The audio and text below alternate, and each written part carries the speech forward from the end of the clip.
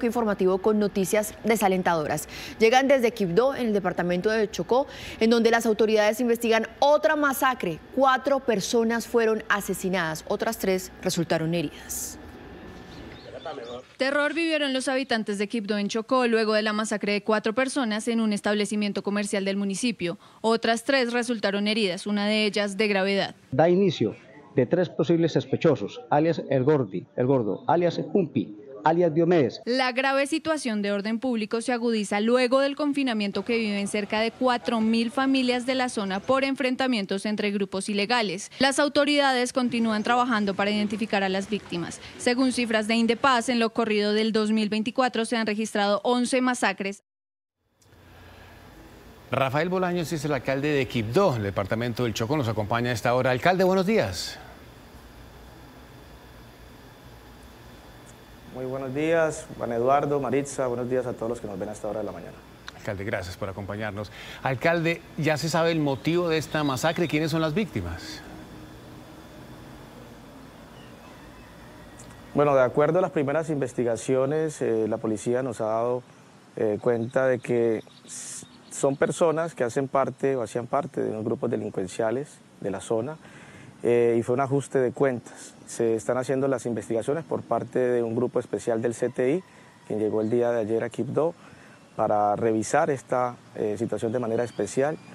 Y bueno, desde la administración municipal seguimos trabajando con la fuerza pública, especialmente con la policía, para esclarecer estos hechos que eh, se han recrudecido en, los, en las últimas semanas principalmente y, por eso eh, aprovecho estas cámaras para hacer un llamado muy especial al señor presidente Petro para que nos ayude con tres temas muy importantes que nos van a permitir eh, mejorar las condiciones de seguridad del municipio. Y el primero tiene que ver con una construcción de la cárcel nueva del municipio de Quibdó.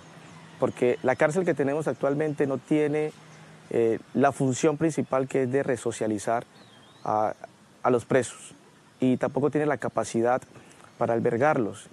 Y el sitio donde está ubicado actualmente eh, no es el mejor, está en el centro de la ciudad.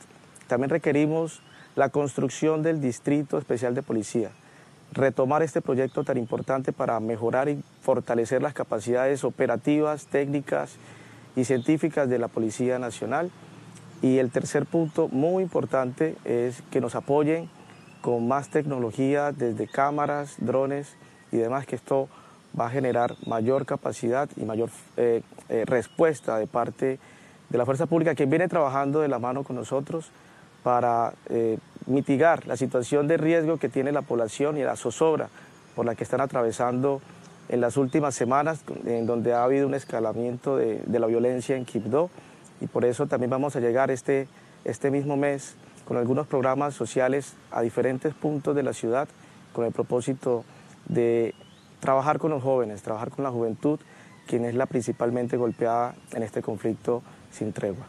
Alcalde, por supuesto, usted está utilizando estas cámaras de Noticias RCN para hacerle este llamado al Gobierno Nacional, pero después de esta masacre yo le quiero preguntar si alguien del Gobierno Nacional se ha comunicado con usted, el Ministro de Defensa, del Interior, alguien de la Presidencia de la República, para que usted pueda trasladarle directamente todas estas, estas cosas que está pidiendo para su municipio, para la ciudad.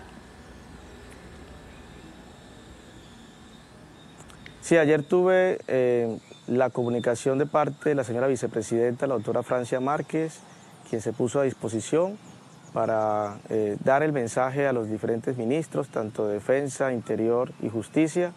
También tuve comunicación con el viceministro de, Juventud, porque hicimos una solicitud especial que tiene que ver con eh, el programa de Jóvenes en Paz y, esto va a permitir pues, que podamos fortalecer este programa y ponerlo a andar en el menor tiempo posible en la ciudad de Quibdó. Alcalde Bolaño, gracias por acompañarnos en esta emisión de noticias. Son entonces tres las solicitudes que usted le hace, una cárcel nueva, el distrito de policía que se implementa ahí en la región y apoyo de tecnología. Alcalde, gracias, feliz mañana. Bueno, igualmente para ustedes, Dios los bendiga.